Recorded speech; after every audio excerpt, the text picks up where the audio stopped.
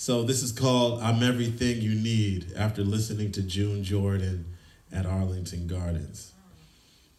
After her reading in the neighborhood coffee shop, barely sprinkled with people going in and out at the small table designated for her to sign books, halfway happy to be signing a book and halfway crying, she said to me, I'm so embarrassed because nobody came, but thank you for coming. And I said to her in the way that I say things, Ain't I somebody? Ain't I exactly who you came for?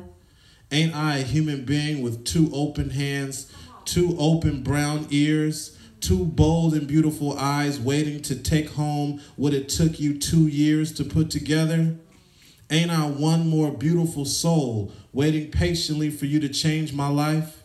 Waiting diligently for you to say something that I will remember and repeat to my grandchildren when they come begging me for wisdom? Ain't I enough man for the beauty and patience of your starving ego? I know you probably wanted this place to be full, but I am full of light and love and energy and a hunger for great sentences. And aren't we a pair, you and I? You giving and I receiving, you pouring out and I taking in? Am I not the true evidence of this ancient idea people say but don't really believe when they say that if you can reach one person, change one life, brighten one person's day, I have done my job? Am I not your job today?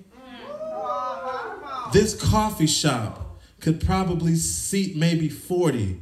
And if you did your duty, if you filled my belly with enough paragraphs for me to chew on for generations, then this work will endure. And dig this if I have six children, and those children have six children, and those children have three children, and more, maybe your book will stay on the shelf and get passed around at family barbecues and weddings and funerals. And haven't you reached that goal? Haven't you touched enough people? You should rejoice in the single seat. Clap and shout and dance for the gas I paid and the parking I paid and the clothes I ironed and chose to come to hear you. And if God is in us all, didn't God show up to your book reading? Aren't you reading poems to God?